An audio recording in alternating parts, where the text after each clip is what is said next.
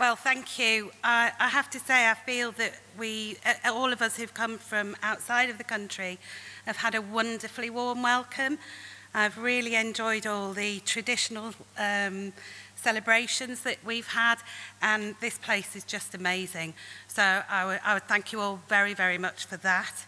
Um, and thanks to Chris and Alistair and that amazing ball of energy, which is Ken, for inviting me to speak. I'm very much aware that I'm very privileged to be standing here amongst a, a group of people who have such incredible experiences themselves.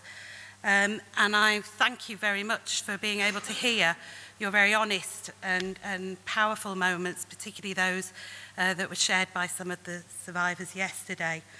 Um, and just to add to that before we start, part of my work um, has been to review the deaths uh, and serious injuries of children involved in uh, child sexual exploitation. And what I'd like to say is that part of this presentation contains some of their experiences. These are the people who are not the survivors, um, and these are the people that I would like to remember uh, uh as part of what we do here as well.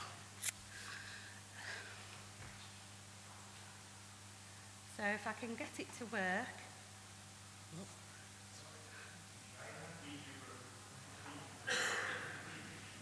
Oh, there you go. So, uh, I, I, I worked for the uh, Child Exploitation and Online Protection Centre for six years and I still cannot move from one slide to another. Um, but yeah, hopefully I'll, I'll, I'll get a bit of a, a better grip of it as we go along. Where do we begin with what appears to be quite a new problem? I'd suggest that it actually isn't, but I would suggest that the awareness of child sexual exploitation is quite new to us. And it's become very much a national and an international concern for most countries, including this one. There are four models of uh, child sexual exploitation, but today we're concentrating particularly on organised and networked uh, CSE. And that means the, what possibly was previously known as sex work for children, prostitution, rent boys, those kind of horrible pieces of terminology that should never apply to children. Um, and it is saying that that's what we're concentrating on today. most models uh, in terms of understanding CSE and those that look at the supportive environments and what we do for children involved in that focus yet again on the experience for girls and young women. And some of that's partly because of the historical development around CSE in general and seeing young women as being those involved in sex work that was maybe coerced and seeing young men involved in sex work that they quite liked or enjoyed. And I'm afraid there is still part of that myth uh, that, that hangs around. And it's really important that we understand that what happens within CSE for children and young people is a crime. It's always a crime. Uh, these children are being raped. These children are being sexually assaulted. They are being, and that is happening on a daily basis, sometimes by three, four, five more offenders per day. Uh, it's like a, uh, almost a factory of things. It's some of the worst crimes that you can ever see. And some of those uh, crimes include fatalities. And I think we have to say there is a real need for us to understand the justice concepts behind this and what those people involved in this are, are entitled to. It's difficult enough to get justice for children, but it's particularly difficult in, in these very complex circumstances. We look at global concerns first, and I think sometimes we're, we're, we're often obsessed with the fact that uh, children are taken from one country to another, particularly a poorer country into a richer country, and that's what we're looking at when we're looking at CSA. Well, that's not necessarily the case. And if you look, for example, at the statistics in the United Kingdom, nearly half of all the children involved in CSE are involved internally, are moved from place to place across the country and not coming in uh, from, from outside. We also have to understand that this is primarily a, a piece of uh, exploitation which is for economic gain by those who seek to, to push this forward. And you can see that you're looking at a huge gain because you're looking at around about 70% profit per head per, per child. It's really important that, that we understand that like this is not something that people are going to give up easily just because we tell them that it causes harm. This is something that's going to take a lot more than that. It coexists often with firearms and drugs, which means that we have people with quite uh, well-developed and sophisticated networks of moving things from one side to the other, and that that is covert in, in many cases. It's also something that we never need to forget that we've got a huge financial impact upon our global economy and upon what happens to us. So even if people can put to the back of their minds the issues for children and what could be termed in, in some senses the sob stories, even if people can put that to their mind, they need to face facts that our economy is, is losing out to the tune of £99 billion per year as a result of trafficking. Human trafficking is the second largest gener generator of illicit funds. It only stands behind drugs. And it's very important that we take into account that then those children that become commodities in it are of huge worth as that commodity, not as a child, not as a human being, but as that commodity. I've made this very small writing, so I do hope that you can see it because I'm struggling. Let's think about what, why are we looking, and we are looking at an increase in CSE. What's that all about? Well, a lot of that is about human movement across the world. We've never seen so much of it, really, in short. Um, migration is, is one thing, but more, uh, more risky uh, eh, are the forms of smuggling and trafficking.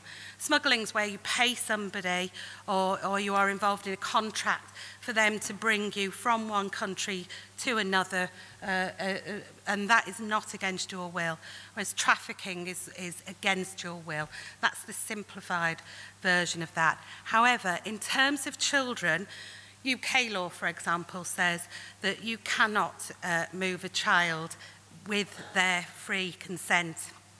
So uh, it, it does, if you're looking at CSE, we might be able to smuggle families, might be able to smuggle parents, but if a child goes with them, we would say that that's trafficking of, of, of that child. However, smuggling and trafficking are both risks, and the issue around smuggling not being an offence is not the same in many other countries. So we see, for example, um, at the bottom, these uh, particularly difficult circumstances that we're facing in Europe around children uh, stacked in ports in Calais and children on the streets in Greece, which is really becoming quite problematic, uh, particularly for those children. Lots of these children are escaping conflict They're not coming for, you, you know, well, I'll make a few extra quid if I go and get a job in the UK rather than have a job somewhere else. That what they're coming for is a better life, and that better life often is a response to the potential that they may lose their lives wherever they are, or that their families may lose their lives in, in the country that they currently live. And Ken said, what about New Zealand? And we all went, well, we best have a look at that. And uh, uh what's interesting, TIP is um, the uh, trafficking, um, gosh, it's gone from my mind. Trafficking in Persons Report, 2017. Thank you very much. Um, anybody else can join in as, as well. If I, if I forget anything, or just bring it on, it's, quite, it's fine. Uh, thank you. Um, New Zealand is a destination country, and it's been known that New Zealand's been a destination country since 2014. This is not news to you. That's what I'm saying.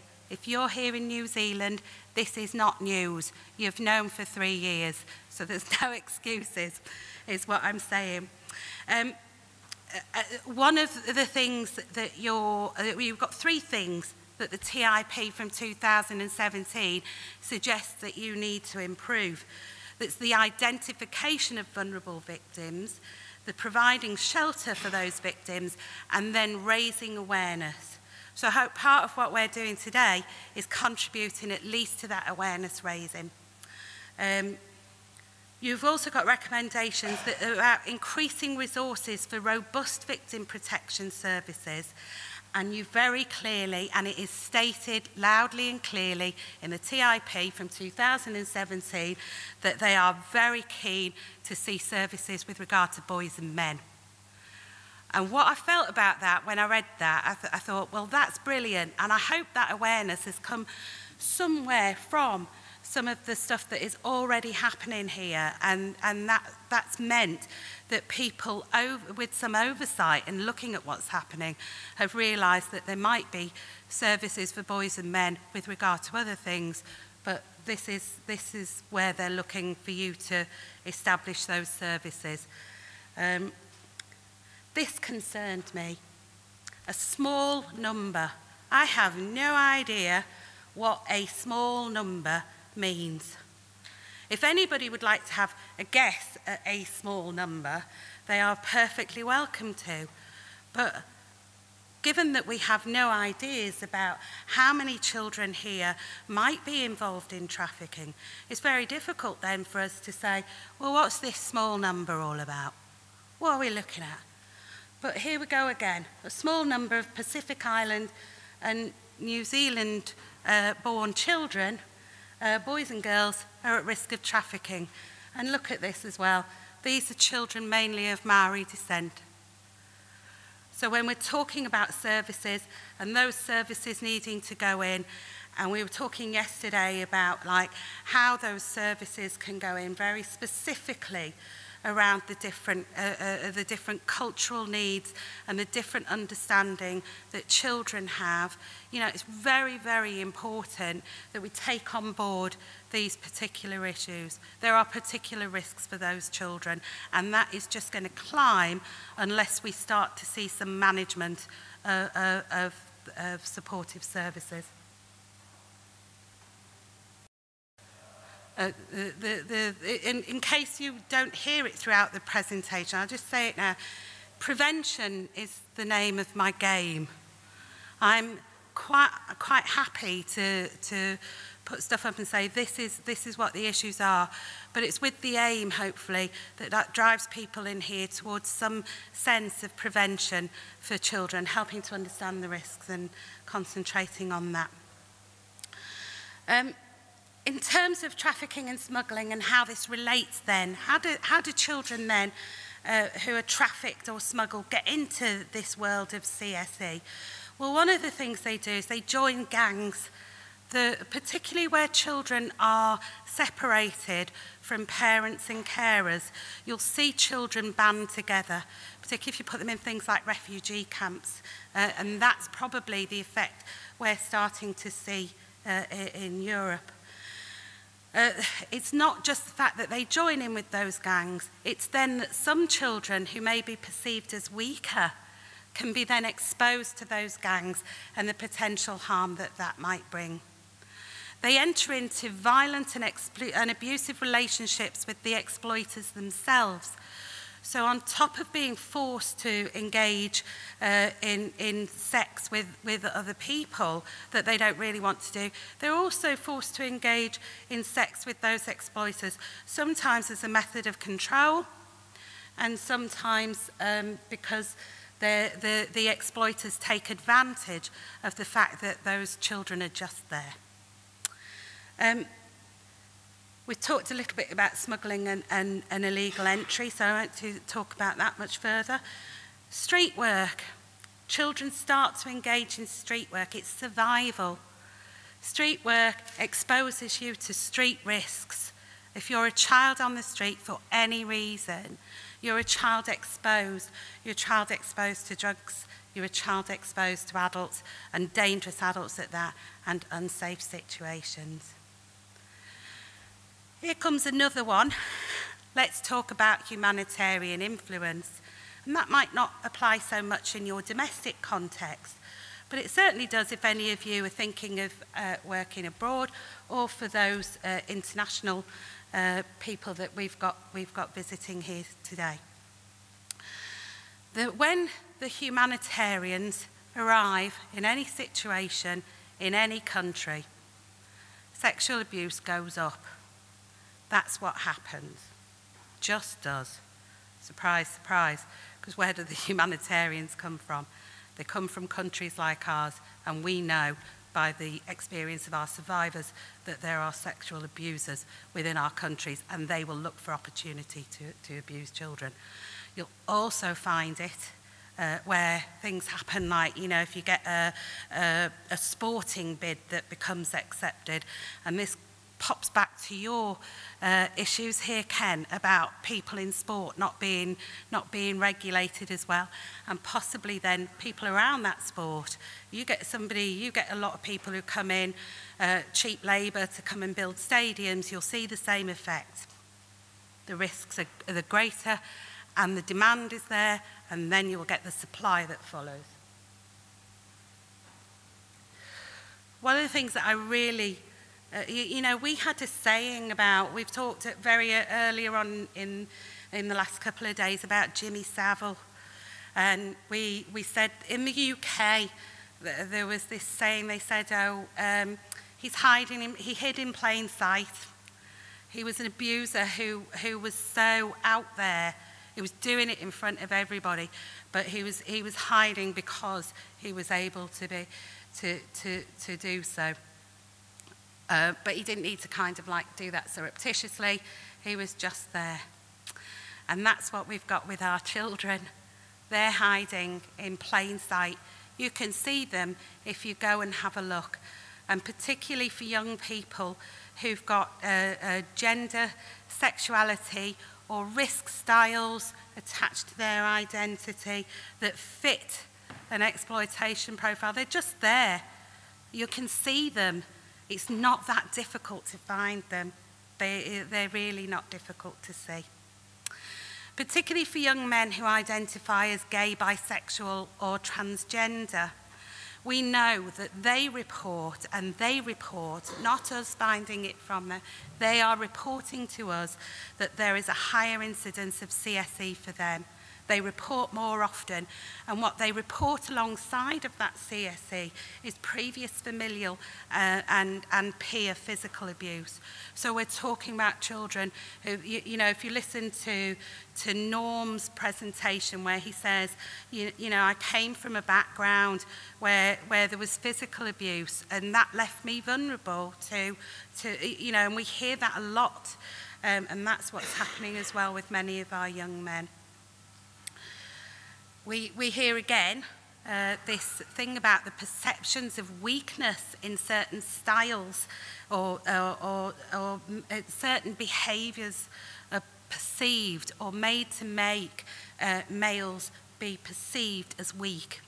And those then are often, those, either, those are then often uh, characteristics of a child that then become targeted by an exploiter because they're seen as, as, as weaker. Uh, they're seen as more needy. Um, some identities are considered more sexually acceptable. Some exploiters will say, well, you know, we'll, we'll, have, we'll have young gay men, that's all right. And they're seen as sexually acceptable. So you'll see that maybe in some circumstances, you'll see more gay men being targeted by specific exploiters. And we're back again to this issue of survival.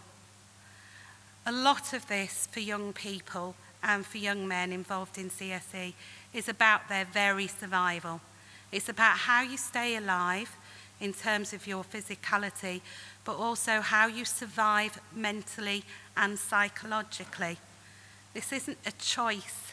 This is, and sometimes young men will then develop what they perceive to be a profile that might offer them some protection within, within an environment. So, and then we have some glorious statistics from, from the UK. And these are statistics from an organisation called Barnardo's um, in the UK. And they are currently seeing between 11 and 20, well, they, they are currently researching, the, the outcomes of their research is that between 11 and 29% of CSE victims in the UK are boys and young men. But then, funnily enough, 33% of boys and young men are accessing their CSE services. Well, that tells us a different picture altogether, doesn't it? Because what we know is that boys and young men are less likely to access services than girls and young women. And yet we see a third of them accessing those services, despite the fact that I think we can clearly say uh, uh, that, you know, those services are actually more or less designed for young women rather than young men in the main. So, th so this choice of, of these young men accessing it, I think shows us a, a more serious picture. Um, and I think that's probably likely uh, to be across the piece. Boys are more likely to be younger than girls when they first become victims. And again, it's that that vulnerability and, and that risk and identifying that at an earlier stage uh, for boys and young men. Also, what we know about children with disabilities and, uh, you know, I've, I've only put a little bit in here because otherwise I'll be on here for three days and you'll all be like snoozing away. And if, the, I mean, unless you are already, we'll just be careful about that. But uh, boys who are victims are more likely. So in the, if, you, if you look at the group of victims who are boys and the group of victims who are girls, this group over here of boys, they're more likely to have disabilities. And their disabilities are more likely to be uh, behavioural based problems. Now, you can, you can start to join up the dots because if you've got boys and young men who are mainly being made vulnerable by serious physical uh, abuse within the home or other abuses within the home, what's going to happen to them? They're, they're, I'll use a, a nice scout phrase, they're going to kick off. And if they kick off, right, we're going to see them as having behavioural problems. So what have we got in this group over here? It's, not, it's no big surprise, and the dots join up quite neatly, sadly. Um, and, and obviously offending behaviour is higher in, in male CSE victims and survivors. And again, this translates if you've got behavioural difficulties or you're looking at risk-taking profiles that you know that that's going to happen. So it, it's kind of uh, it's almost a perfect storm to put our children and young people, our boys and our young men, into this environment because it's going to cause them great harm and it's actually going to translate into harm for our society. And this was a, a, a nicely interesting uh, fact that also uh, came out of the Barnardo's research is that female perpetrators are more likely to target boys than girls. So despite the fact that the majority of offenders do, do remain male, those female per, uh, perpetrators involved in exploitation are looking for boys. I've put this um, slide up because it's kind of it's almost in terms of the way uh, uh, uh, law enforcement and criminality can start to think around particularly young men involved in CSE. Lots of young people uh, uh, end up as facilitators. They kind of almost move from, from one side to the other. And that's not about, um, that's about bringing other young people in. Now, that's the way CSE works. That's not, it is not a criminal offence in, it, in its own right if it is coerced. It should not be, because that, what you're looking at is a child being coerced by an exploiter to take on behaviour that reduces the risk for the exploiter because you're getting the child to do it the, or the young person to do it. However, when this happens, we're much more likely to see uh, that coercion for girls. And we say, you, you, you, you know, that girl, we, we'll, we'll look at different ways uh, of uh, diverting from, from criminality with regard to the facilitation. We don't, we don't do that in the same way for boys. And we say about boys uh, that they are, um, they, they, they, they become criminalised. They are diverted less. Um, assessment, therefore, becomes really crucial in terms of us being able to understand what we need to look at for our children and young people. It's absolutely crucial to look at the whole strengths-based model assessment around young people when we think that they are involved in CSE.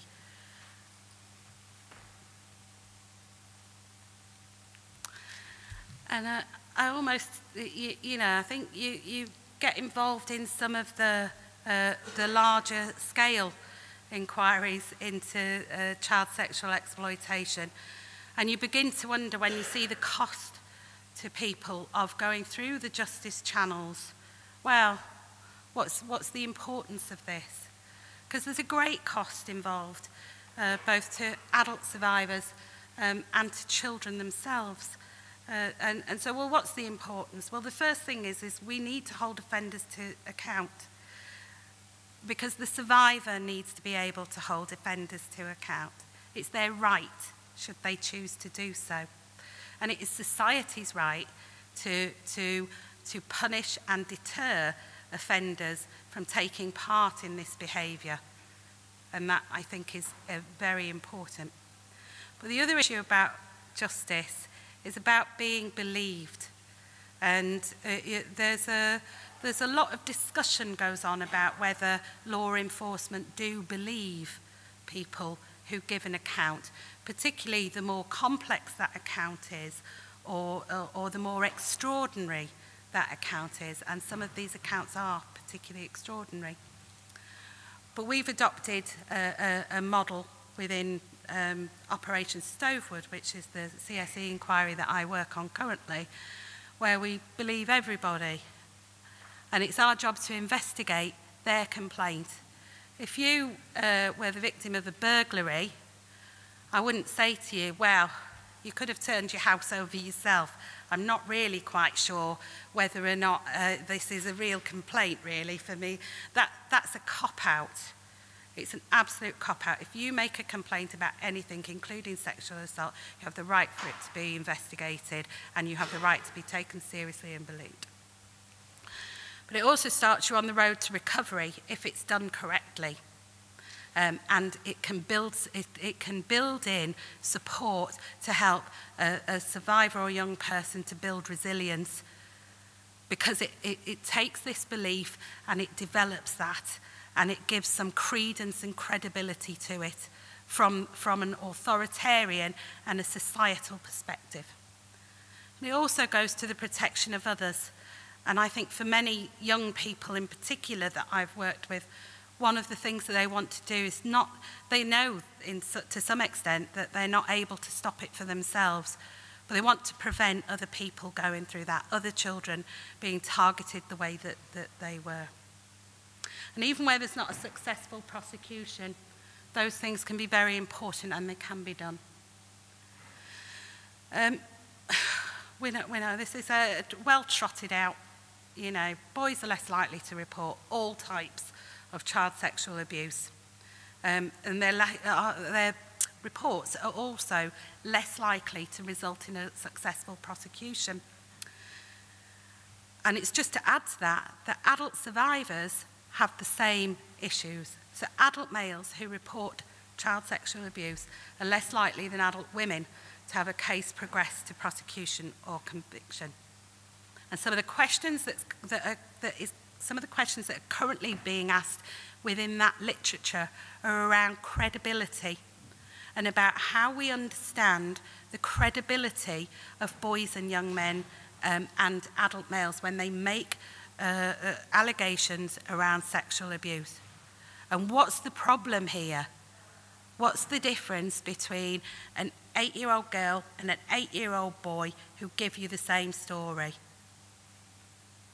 Well, who knows, but there is one. And that goes right up to adulthood, doesn't change. Um, I hark back to what I know about the uh, UK uh, Achieving Best Evidence System. Um, and there is a model um, from the National Institute of Child Health and Development in the, uh, in the States. And the, the kind of combination of those systems is replicated globally. You have it here. You have a very similar uh, system there. And our systems involve, it mean that where you've got vulnerable and, intimidated witnesses, so for example, those under the, eight, uh, under the age of 18 who've witnessed sexual crimes, they can be supported by this system. Um, and the system is open to those complaining historically. So you have as much right to say that you were abused when you were six, when you're 56 or 106, as you have when you're six. And it's important to know that, that you know, that's, that, that's your right. However, and here comes the, the lovely bit, because there's always a however, isn't there, with, with child protection. Despite that system running in the UK since 1992, we know that the reports of child sexual abuse have risen and that the rates of successful prosecution have fallen alongside that rise. So actually, we're doing really, really badly. It's mirrored to some extent in some of the work in the Royal Commission, and we are, we are getting worse at this, not better. And that's quite staggering, really, because how do we support, how on earth can we support those more complex cases, those people who are 56 or 106 and who have a right to complain when we can't get it right for, for, for a, a general case where we've had all of that experience and expertise since 1992. What we do know at this early stage, and I hope it is an early stage of how we look at it, is that poor interviewing, uh, poor interviewing practice is a major problem despite the fact that we educate and train our police officers and we give them uh, the, the, the, the rules and regulations and how to do it and how not to ask leading questions and uh, what they still do what they should not do and they don't plan very well for um, for, for interviewing and we've still got problems. So what makes a better system? Now this is the this is probably the uh, the simplest uh, kind of uh, approach that I, I, that I can that I could I could boil this down to. And this is again uh, the the model that we're operating to, and we've built for Stovewood, and we are having some success with it. I mean, what that will look like over the longer term, we, we, we don't know yet because we've not tested. But, but what we are looking at, as I say, is, is a much better model. And this is with adult survivors who told their stories over and over again and were, um, were ignored by the authorities. And so we are looking at the uh, complaints being made from 1997 onwards. Uh, and as I say, we are managing some success as a result.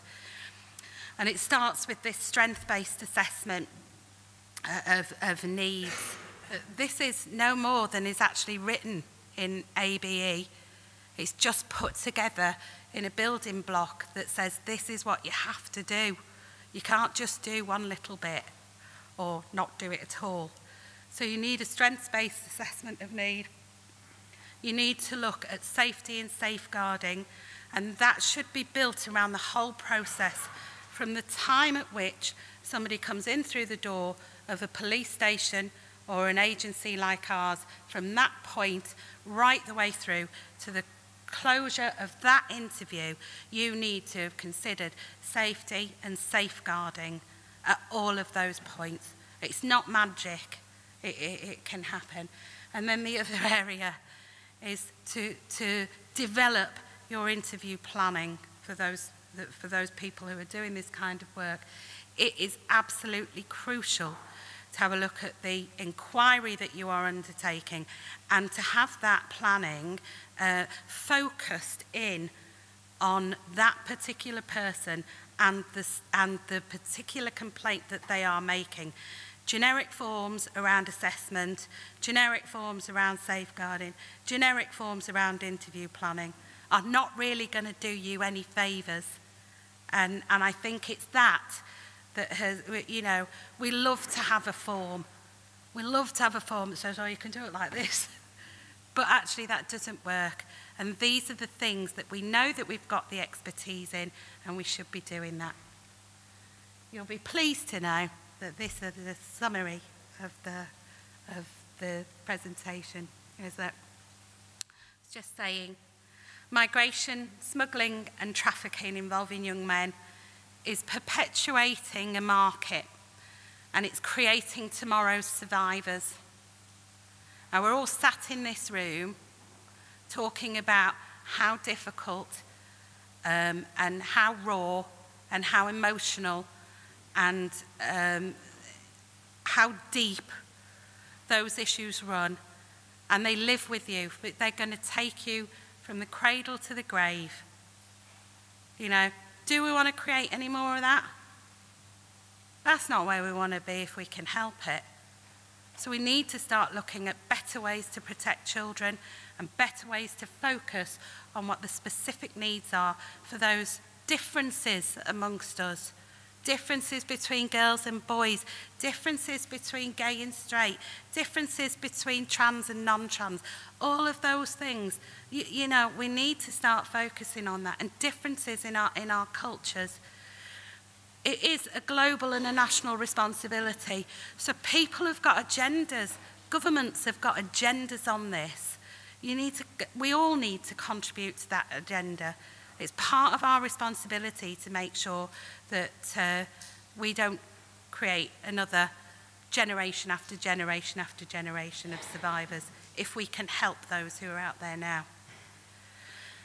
Survival and becoming involved in uh, sexual exploitation or whatever else people would like to term it, sex work or whatever, whatever you want to call that, that does not mean consent, either sexually or criminally. Being forced to have sex with somebody else does not mean consent. And if that is through a process of exploitation, however much you look like you are consenting to it, you are doing so for your survival. And we need to take that out of the picture. We need to stop saying that children have consented, consented to having sex with people who are exploiting them or people who are introducing them through those exploiters. Um, young men in certain circumstances are, are more vulnerable. You, you all know that probably better than I. Um, And we need to enable access to justice, and one of the best ways that we can do that is through more supportive and better interviewing, giving the people, giving people, children and adults, the right to give their account more effectively so they can get what they want out of that process is crucial. Um, and service development across prevention of, of child sexual exploitation. It, I, I've put poor, I mean dire I mean, Ken, what's your New Zealand word? Is it shit? That's what I mean by that. Um, uh, and it starts to need, this service prevention needs to target the issues for boys and young men um, because the prospects otherwise for those boys and young men mean long-term exploitation for them in, into adulthood and, and criminalisation. Um, and so thank you very much for your time.